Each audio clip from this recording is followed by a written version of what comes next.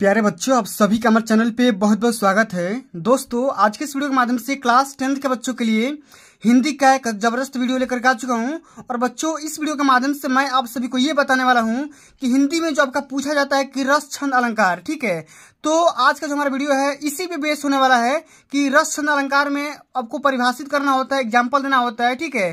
तो इस वीडियो के देखने के बाद आप सभी का सारा डाउट क्लियर हो जाएगा और ये बोर्ड के पेपर में छह नंबर में क्वेश्चन हमेशा पूछा जाता है। इसलिए आप सभी हम्बल रिक्वेस्ट है, इस इंपोर्टेंट वीडियो को लाइक कर देना शेयर कर देना। अगर चैनल पर नहीं हो तो सब्सक्राइब भी कर देना। आइए दोस्तों, सबसे पहले हम ये समझ लेते हैं कि रस से संबंधित जो भी क्वेश्चन आते हैं, हमारा किस प्रकार के क्वेश्चन पूछा जाता है। सबसे पहले हम इसको देखते हैं, उसके बाद हम हास्य रस करु रस जितने भी प्रकार के रस हैं, उन सभी क्वेश्चन को हम यहाँ पे डिस्कस करने वाले हैं, ठीक है? प्रश्न हमारा दिया गया है कि हास्य रस अथवा करुण रस में से किसी एक रस का अस्थाई भाव लिखते हुए उसका उदाहरण भी दीजिए। दोस्तों, ये जो टॉपिक है, ये जो क्वेश्चन है बोर्ड के पेपर में हर साल देखने को मिल जाएगा, ठीक है? इसलिए इक्वेशन को मिस मत करना स्किप मत करना। लिखेंगे कैसे बोर्ड के पेपर में? ध्यान से देखिएगा, यहाँ पे आपको हेडिंग लगाना है, हास्य रस, ठीक है? परिभाषा के तौर पर आप लिखोगे कि हास्य रस का अस्थाई भाव हास होता है, ठीक है? जबकि किसी भी वस्तु या व्यक्ति के विकृति आकार वेशभूषा वाणी चेष्टा इत्यादि से व्यक्ति को बरबस हँसी आ जाए तो वहाँ पे हास्य रस होगा। ठीक है? जब किसी भी वस्तु को या व्यक्ति को देख करके आपके मन में जो भी बात आ रही है ठीक है आप उस बात को देख करके अगर आप हँसी को कंट्रोल नहीं पा, कर पा रहे हैं तो वहाँ पे जो भी चीज़ होगा वहाँ पे कौन सा रस होगा? हास रस होगा। ठीक है? इसका एग्ज़ाम्पल के तौर पे आप यहाँ पे देख सकते हो कि मुन ही मोह मन हाथ पराए, हंसही शंभु गति, गण अति सच पाए। यद्यपि सुनही मुन अटपरिट बानी, समुझी न परई बुद्धि भ्रमसानी। ठीक है? ये जो एग्ज़ाम्पल है साथियों हास्य रस का एग्ज़ाम्पल है, और बोर्ड के पेपर में हर साल पूछा जाता है। ठीक है? इसका हम स्पष्टीकरण भी कर सकते हैं कि पूछता है कि हास्य रस का अस्थाई भाव क्या होता है? तो हास्य होता है, हँसी होता है। रस कौन सा होता है? हास्य होता है और उसका अनुभव होता है हंसना, ठीक है? इस बात को भी आप लोगों को क्लियर करना है, ठीक है?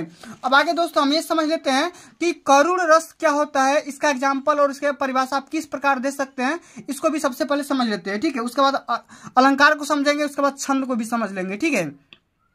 तो हम इसका परिभाषा किस प्रकार देंगे कि करुण रस का अस्थाई भाव शोक होता है।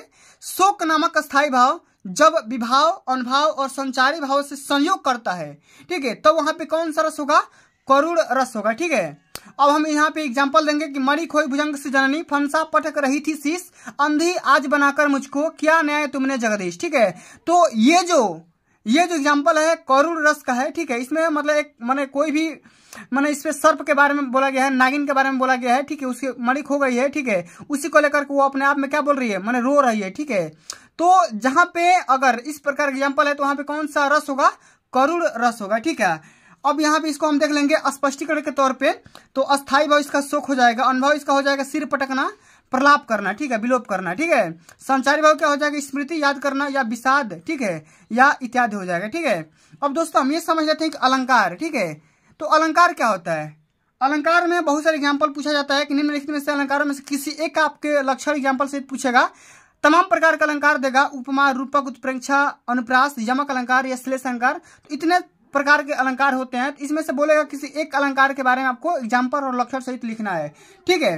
तो जिस प्रकार औरतों को या स्त्रियों को, मैंने सौंदर्यता, सुंदरता बढ़ाने के लिए गहने की आवश्यकता होती है, ठीक है? आभूषण की आवश्यकता होती है, उस तरीके से शब्दों की, ठीक है? शब्द जो भी हमारा, शब्दों को शोभा बढ़ाने के लिए हम अलंकार का इस्तेमाल करते हैं, ठीक है? तो हम यहाँ पे, हमारा यहाँ पे टारगेट है कि भाई उपमा अलंकार यहाँ पे दिया गया है तो उपमा अलंकार का परिभाषा क्या होगा? ठीक है? इसका एग्ज़ाम्पल क्या होगा? इसको हम समझते हैं। तो यहाँ पे देखो, उपमा अलंकार क्या होता है? समान धर्म के आधार पर जहाँ एक वस्तु की समानता या तुलना की जाती है, किससे? दूसरी वस्तु से। तो वहाँ पे उपमा अलंकार माना जाएगा। जैसे यहाँ पे देखो, राधा के चरण गुलाब के समान कोमल है।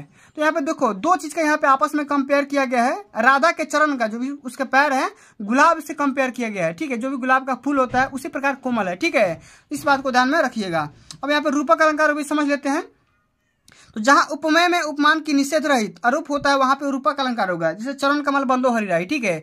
भगवान श्री कृष्ण के या भगवान राम के चरण कमल के समान कोमल है, ठीक है? तो यहाँ पे क्या हो जाएगा? रूपक अलंकार हो जाएगा, ठीक है? आगे देख लेते हैं उत्प्रेक्षा अलंकार में क्या होगा? तो जहाँ उपमय में उपमान की संभावना भी की जाए, वहाँ पे उत्प्रेक्षा अलंकार होगा। जैसे यहाँ पे देखो लिखा गया है, सोहत ओढ़े पीत पट श्याम सलोने गात, मनो नीलमणि शहर पर आपतु पर प्रभात ठीक है?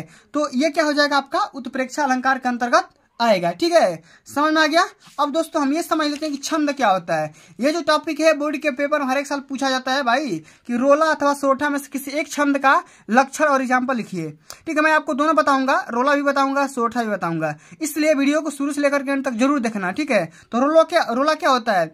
तो रोला एक समात्रिक छंद होता है, ठीक है? इसमें प्रत्येक चरण में ग्यारह ग्यारह मात्राएँ ठीक है, ग्यारह और तेरह मात्राएँ और विराम पर यति होता है जो कि चौदह, चौबीस मात्राएँ कुल मिलाकर के होती है, ठीक है?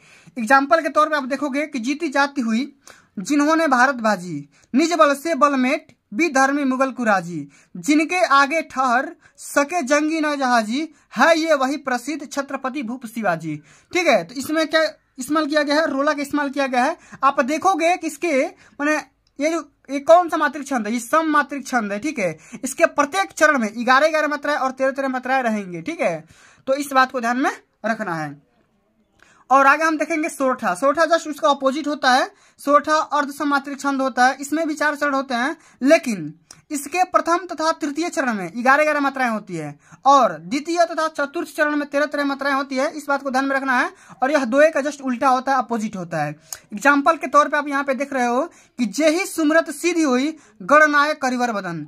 करहू अनुग्रह सोई बुद्धि राशि शुभ गुण सदन, ठीक है? तो इस प्रकार से साथियों, ये जो टॉपिक है बोर्ड के पेपर के लिए बहुत ज़्यादा इंपॉर्टेंट है। इसलिए आप सभी हम्बल रिक्वेस्ट है। अगर एक बार समझ में आए तो दो तीन बार वीडियो को देख लो, आपको पूरा पूरा समझ में आ जाएगा, ठीक है? तो दोस्तों, आज के लिए बस इतना ही। अगर ये वीडियो आप सभी को अच्छी लगी होगी हेल्पफुल लगी होगी तो वीडियो को लाइक कर देना शेयर कर देना। अगर चैनल पर नहीं हो तो सब्सक्राइब कर देना। मिलते हैं अगली वीडियो में, तब तक के लिए जय हिंद, जय भारत, वंदे मातरम।